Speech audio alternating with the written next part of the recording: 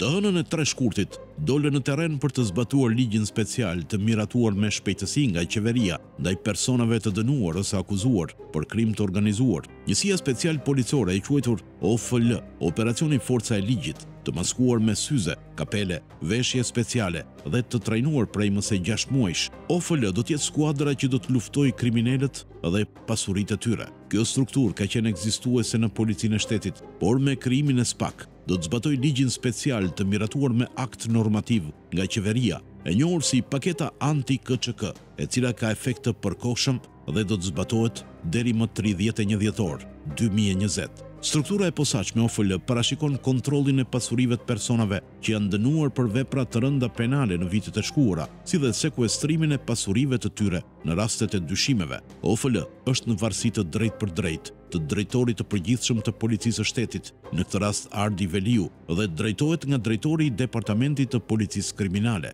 Kjo strukturë, së bashku me Drejtorin e Policisë, merr fuqi ligjore, që i lejojnë të anashkalojnë Prokurorinë dhe Gjykatën. Ajo ka në përbërje të saj punonjës të Policisë së Shtetit dhe ekspertë të fushave të ndryshme. Përveç aksesit në detabejzin e Policisë së Shtetit, OFL-ja ka akses në informacionin apo bazën e të dhënave të institucioneve publike, përfshirë sistemin TIMS, në shënjestër të paketës anti-KÇK. janë të gjithë personat e dënuar apo që janë nën hetim për dyzet e katër vepra të rënda penale, ku përfshihen organizata kriminale, banda e armatosur, grupet kriminale, vrasjet, organizatat terroriste, rrëmbimet, pengmarrjet, trafiqet e armëve dhe të drogës, prostitucioni, vjedhjet e të tjerë. Njësia Speciale e përbërë nga pesëdhjetë oficerë do të nisë punën nga qytetet e mëdha, si Tirana, Durrësi, Vlora, Shkodra, Elbasani. Këtë të hënë, aksioni anti-KÇK nisi sekuestrot nga kompleksi Golden në Shijak, tre shtëpi banimi dhe pikën e karburantit Alti dy mijë e tetë, në pronësi të Altin Hajrit,